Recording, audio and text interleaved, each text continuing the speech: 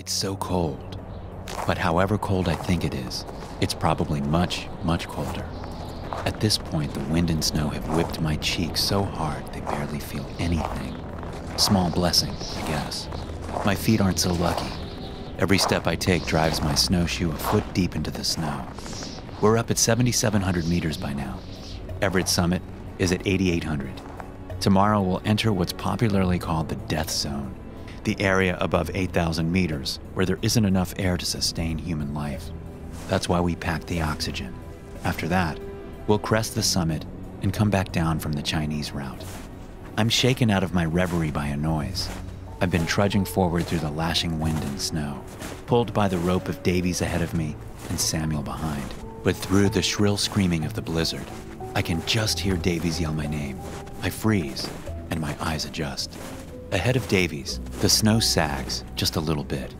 It signals the presence of a crevasse, filled with snow. If any of us had stepped on it, the snow would have collapsed, and we'd be sitting in a vertical trench 40 feet deep with no way out. I let out a breath that had frozen inside my chest. We set up the ladder to span the crevasse and slowly move across it. We all make it to the other side when a spare ice pick that was hanging off Samuel's pack slips off. It crashes onto the fluffy white snow and is instantly swallowed up. We're left staring at the arm sized patch of emptiness where it landed less than a second ago.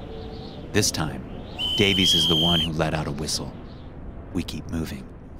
The sun is going to set in just a little bit, and we need to get to a safe spot to hunker down for the night. Trying to climb in the night is suicide on Everest. We've just about found a nice, rocky patch to set up our tents on when the steel tip of my boot on something. I freeze again, then force my eyes open and look down. A brown, desiccated hand sticking out of the snow. Its fingers extend towards my boot. I draw a sharp breath. That was a close one. Then I yell to the others, Body!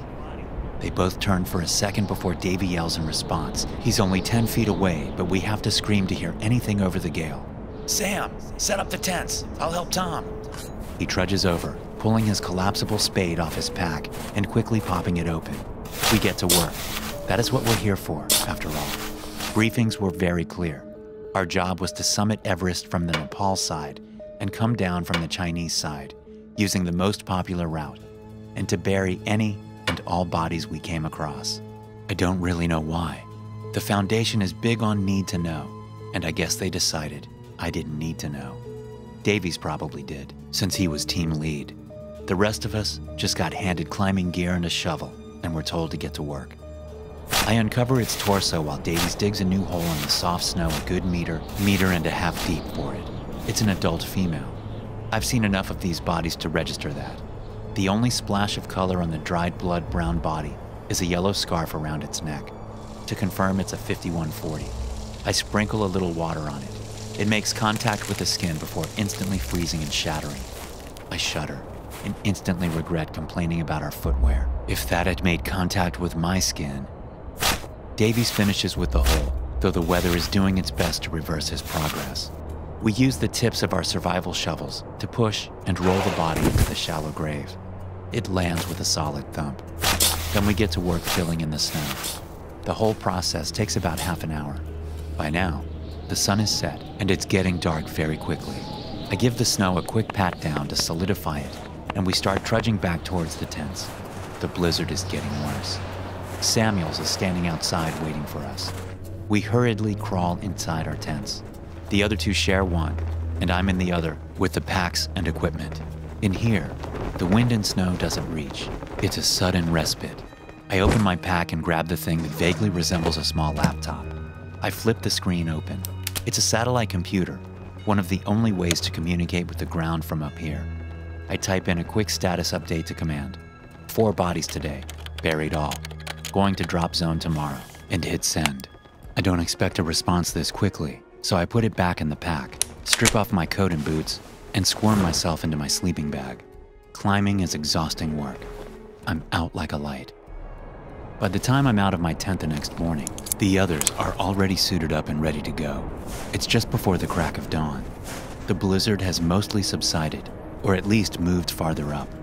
We work in silence to dismantle the tents, pack everything up, and get moving again. It's uncharacteristically quiet on the mountain, just the crunching of fresh fallen snow under our feet. As we leave camp, I swear I can still see the raised lump of snow where we buried the stiff last night. We start making our way up the mountain. The air is thin here, which means clouds are a non issue. You can see all the way down. We've only been walking for maybe 45 minutes before Davies calls out. Body. He and Samuels get it this time. This one's relatively fresh. The skin hasn't frozen over or sloughed away. Lots of frostbite, though. Seems exposure got them. Just as he's finished digging the hole, Samuels loses his footing in the soft snow. He flings out a hand to break his fall, and it lands right on the shriveled chest of the corpse. It's barely a second before he jumps back, but it's a second too late. His furred glove has already frozen itself to the corpse's chest, trapping his hand inside it. I immediately start running through the snow towards them, but Davies is closer. He wraps his arms around Sam's chest and heaves backward, both falling on their asses as the glove gives way. For my part, I freeze when I come up next to them.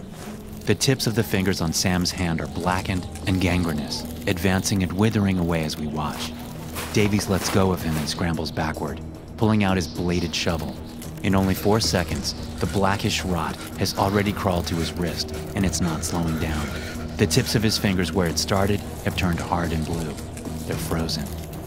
It's dead silent, except for the eternal screeching of the wind. Quietly, I unholster my service weapon, but Sam beats me. Using his free hand, he reaches behind him and frees his pack, letting it fall behind him. He pops out his pistol and looks at me with a terrified look in his eyes, the kind of thing you see from a deer in the headlights. Sam, don't do. Tell them I did good, Tom. Make sure my family gets the money. Then he turns around and lunges at the corpse, tackling it. The momentum rolls them both into the hole he just finished digging. They slam to the bottom. A moment later, we hear a gunshot from the bunker. It echoes around the mountains. I fall onto my ass. Jesus Christ. We buried them fast and deep. No conversation, no memorial. We split up what was in his pack and leave behind an empty, unmarked grave. With only the two of us, the ascent is faster but more dangerous. We find more and more bodies up here. The death zone is where most Everest deaths happen, fittingly.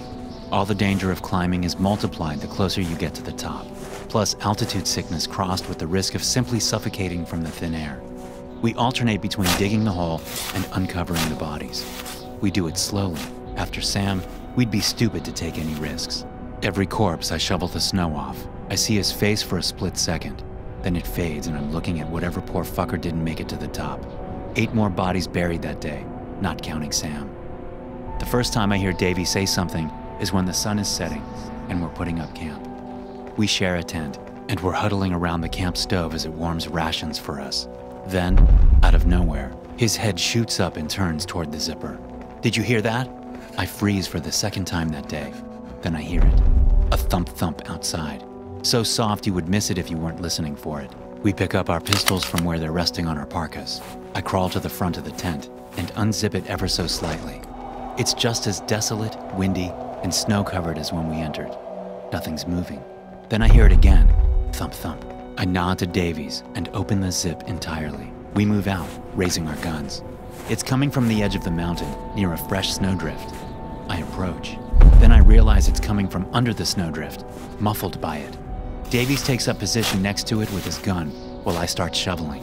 It only takes two or three scoops before my shovel hits something hard. Another 5140, adult female. Stuck in a particularly awkward position, its legs hang into a small crevasse, made invisible in the darkness. As the wind blows, its bony legs knock between the sides of the fissure. Thump thump. We quickly dig a new hole. I guess this one was buried by some other team, but evidently not deep enough. The last thing I see as I shovel new snow onto it is a bit of yellow fabric in its parka, shining reflectively off our lanterns. A scarf. We hit the south summit the next day. The Hillary Step is the last portion of the gauntlet that is Everest, a nearly vertical rock sheet 10 meters high, edged on both sides by a 2,500 meter drop. Climbing it is a challenge in the best of times. Over the next three hours, we achingly advanced, meter by meter, up the rock face. Every muscle in my body aches. In front of me, Davies inches upward before slamming a pick in to help me. Then a pebble falls onto my helmet, making a ding before falling away. The ledge Davy's left foot rests on cracks. Davies, left! He immediately pivots, just as the ledge gives way. His left foot dangles in the air for a second before he pulls himself higher, finding a new footrest. I let out a breath I didn't know I was holding. We make it to the top, eventually. The summit of Mount Everest is a sight that is impossible to convey in text, so I won't waste your time. Just, it really makes you realize how utterly tiny you are compared to the massive monuments of stone and snow around you.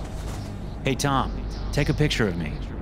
Davies hands me a tiny Kodak and poses with the sun behind him, giving a view into the entire Mahalangur Himal. He smiles, the first time I've seen him do so since Samuel's. Then, just as my finger falls onto the button, it turns into a face of open mouthed horror. He screams.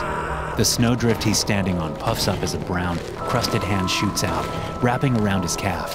He stumbles backwards right onto the edge. The body is pulled out after him, a 5140, its mouth open in a dry grin. Then I see its chest, a frozen black glove affixed to it. I rush forward, but it's too late. Davies balances on the edge for a split second. Then the 5140 is pulled out and knocks his legs out from underneath him. We make eye contact, then both of them vanish. I hear them scream all the way down. This isn't real. This can't be happening. They're dead. They're not zombies. They're not supposed to be able to move. Jesus! The one with the scarf? I thought it was a coincidence. No, it followed us up. They're intelligent. Oh, God. I immediately turned around and tried to go back down. That's when I saw them at the bottom of the step. A 5140, dressed in all black climbing wear, and a foundation patch on its shoulder. Samuels. Three, maybe four others behind him. All of them ones I had thrown into shallow graves and buried on our way up. All staring up at me with those hungry, sunken teeth and eyes. There was no way I could make it off the summit without touching them. Davies had had the satellite communicator. It was over. I found this recorder in my bag, forgot I had packed it. To whichever climber or recovery team finds this, stop. You have to stop sending people up. There are so, so many more of these things than you think there are. You have to stop before more people die. The air is thin up here, which is probably why I'm not hyperventilating. No air to breathe, but it's not gonna last. You can see the entire world from here. It's very beautiful. It's so cold. I'm going to try to knock the corpses at the bottom of the step off the side before oxygen deprivation sets in. I'm going to leave the recording here with my pack. Please, don't send anyone after us. SCP 5140 refers to a number of frozen corpses scattered across Mount Everest, located in the Himalayas of Tibet. When physically exposed to heat of any form, including body heat, they will absorb it without raising their temperature, which rests at approximately 10 degrees Celsius, 50 degrees Fahrenheit. If an individual dies as a result of contact with SCP 5140 instances, their corpse will become another SCP 5140 instance. Recent excavation has revealed SCP 5140 instances form a significant portion of Everest itself. Currently, it is estimated 45% of Mount Everest's mass is formed by corpses.